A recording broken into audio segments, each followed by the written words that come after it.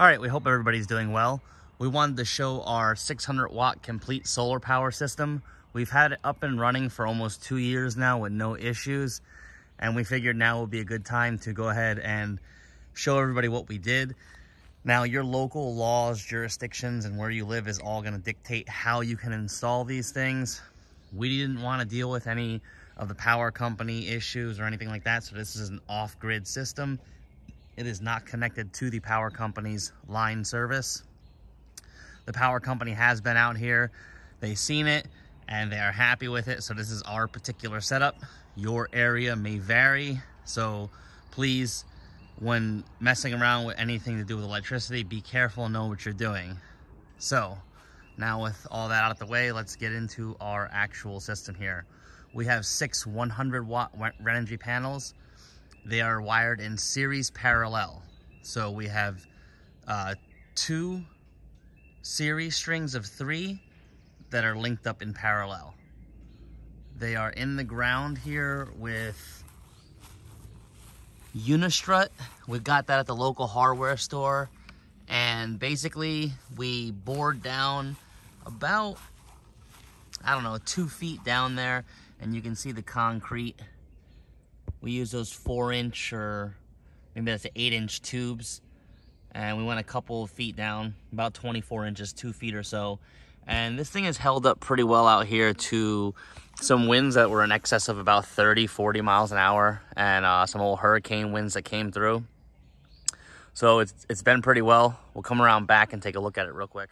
All right, we're in the back of the panels here. And as you can see, they are just these standard Renogy 100 watt panels. And basically we have them on some Unistrut up there on the top and the bottom. And we just made some brackets ourselves here. And as you can see, it's in the ground pretty well there. Like we said, we had some hurricane winds come through here and they held up pretty well. Everything's held up very, very well. So on the back here, we do have a grounding strap to go ahead and ground everything. As you can see there, I believe that's eight gauge. And we'll have links for everything in the description that we can link down there as time permits. But as you can see, it's all the solar panels are connected and we've been through storms like we said. And this is grounded down here into a grounding rod, again, about two feet down. So that copper wire go, goes ahead and touches all of these solar panels. And that's kind of how we wanted to keep it so that everything's grounded. As far as the wires, we protected everything with some cheap Harbor Freight wire loom. And again, they're all series parallel connected. So we had to get some branch connectors. And we got a inline fuse here. So you always want to have a fuse. So we got the solar panels and then they all hit a fuse here. But we got some branch connectors here. Take a look at them one there, and a branch connector there. And that's what takes the two series strings and puts them into parallel. And basically, we're controlling the voltage and the amperage coming down. So we have all that connected in, goes into a conduit here, keeps everything weather tight. Uh, the sun faded the stickers. We had some stickers here, but the conduit comes all the way around.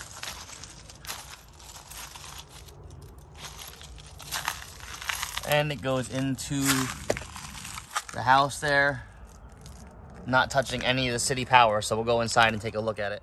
This grounding strap is actually coming from inside to out here for the system inside the inverter and all that and that's another two feet down. All right you'll just have to excuse the mess in here for right now we're doing some rearranging but the negative and positive from the solar panels come in through here and they go into a solar breaker. So that's a 32 amp, I believe, breaker. C32 and a 50 maybe. Not sure. Uh, the correct links will be in the description, but this is basically for this system, and you're going to have to calculate your own needs. But we do have the panels coming into a breaker, and then they come through, and the battery also has a breaker. And basically, the line will come in from the solar panels, go into this PV breaker, and then go into the charge controller side of the solar. The same thing for the battery down below. The batteries are down here. So the batteries also are in this breaker and they will go into the um, charge controller as well. So basically, everything going to this charge controller is fused. We do not want anything uh, going to the charge controller that's not fused or anything coming from the battery. So basically, you have your power come in from your solar panels to here. Solar panels go to here. It does its magic inside this 40 amp charge controller, this MPPT, Renogy, and basically puts out DC voltage for the batteries back through here into the breaker, comes out and goes all the way down into a fuse there. And that's like one of those solar fuses that they include. turn on the light here for you guys. Make it a little better, there we go. And that's one of them solar cheap little fuses you can find on Amazon. It came with the Renogy kit. And that's basically gonna go down and charge the battery here. And you got the negative and positive there. Um, that's our shunt, so we can see how much power we're generating in and out, and we'll go check that out. And then we have our battery crossovers here for these batteries. Um, big question, can you link two different type of lithium batteries? We've been doing it for almost two years and we have no issues. So now you've got your solar power coming into your charge controller, your charge controller charging your batteries. Now you want to take your batteries and get it to the inverter. That's where this next piece comes in. This is a T-class fuse here. Huge fuse. We think it's absolutely necessary. Basically, when this if this fuse blows, there's no chance of electric arc over coming through there because we got a 3000 watt pure sine wave inverter here. And this 3000 watt pure sine wave inverter will draw a few hundred amps easily. I mean, if we're pulling a thousand watts, 1500 watts, we're drawing over 100 amps. If something were to catch fire, you don't want that little cheap fuse there in the background, that one right there, that's just basically a 40 amp fuse for the solar panels and the charge controller coming down to the batteries. But when you're drawing out that power, if you want to sleep good at night, you need a T-class fuse in there. We have it coming through a marine grade, huge switch. It's about the size of my hand. Disconnect switch into the inverter. Now all these wires here are 2-aught gauge. More than sufficient for what we're doing. Uh, we do want to shorten some of them, which we probably will shorten some of them. As you can see here, cables are definitely longer than they need to be, but they're working well.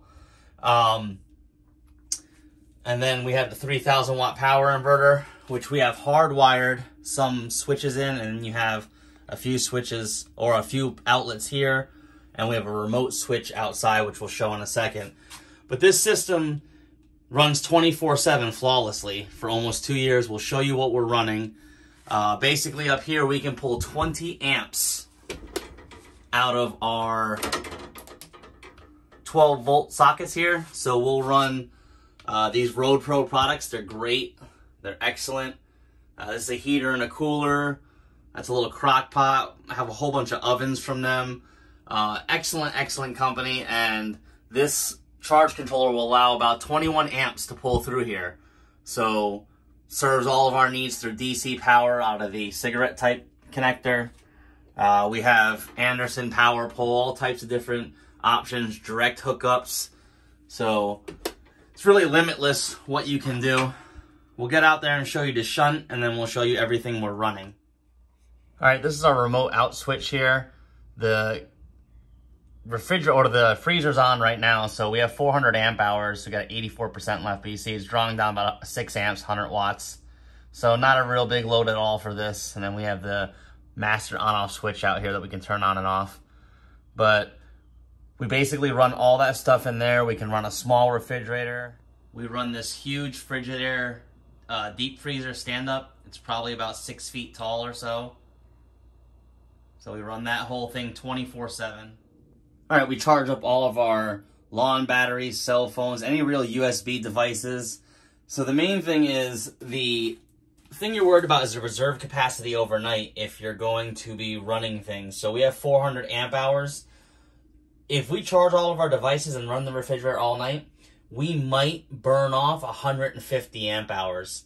So we have plenty of reserve for a couple days, and that's the big thing. So when a lot of people ask the question of what you can run off your solar power system, it's not in terms of how many panels you have, because we only have 600 panels here but we generate over two kilowatts of energy a day. So that's a lot of energy. Um, the refrigerator uses less than a kilowatt a day and things like that. You know, you may only use a couple hundred watt hours to charge your cell phone. So I know we're going to get some flack about some things from the electronic people uh, in the comments, but if you have any questions or concerns, drop them in the comments. We'll try and answer them. Again, this system's been running flawlessly for almost two years. Check it daily. Nothing's ever gotten hot. It charges the batteries at around 38 amps at 55 volts or so, 50, 55 volts. So this charge controller is maxed out for what it is. But other than that, any questions, just drop a comment. Thanks for watching.